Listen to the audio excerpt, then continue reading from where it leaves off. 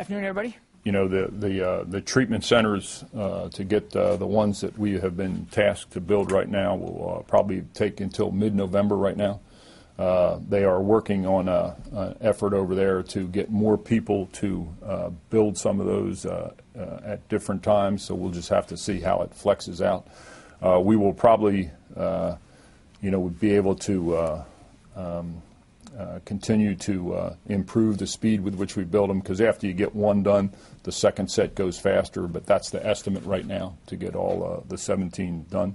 The the real critical thing to this, based on uh, USAID and the CDC, is to get about 70% of the personnel that are infected into a treatment facility, and then at that point, they believe the curve will start going down and then uh, then it will be based on uh, how fast and how effectively one the curve turns down, and two the international community can then pick up all the requirements. So we're going to stay as long as we're needed, but not longer than we're needed. I mean, I'm sure it'll be about a year, uh, you know, at this point, but that's just a guess. And again, we'll have to play that by ear because it's all about the the function of transmission rates and when that curve starts going down.